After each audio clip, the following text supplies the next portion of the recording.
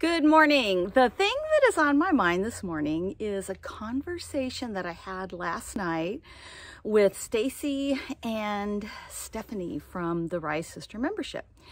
And it was all around when we think about our businesses, how often we're doing the things that we feel like we should do instead of the things that we want to do. And as I had this conversation with these amazing women, we were really digging into all of the shoulds that we hear uh, on social media in you know groups that we're in.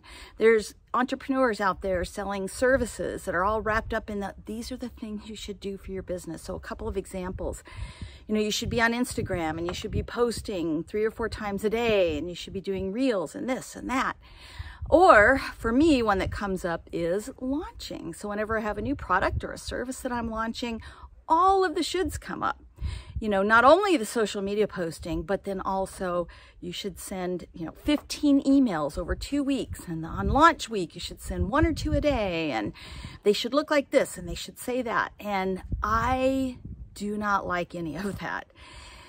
So I don't do it. And I don't have these huge launches that bring in thousands and thousands of dollars that the experts say do that because they do all of the shoulds. So we were talking about that and how it's really important to honor our brand, honor our message, and to decide what we want to do.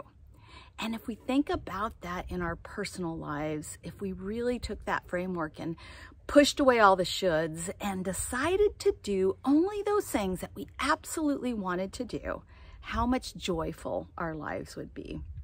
If you're building a business, I'm going to strongly encourage you to listen to the shoulds just long enough to decide if you want to do those things. And if you don't, do the things that make sense for you, for your brand, and for your customers because we are in this for the long game.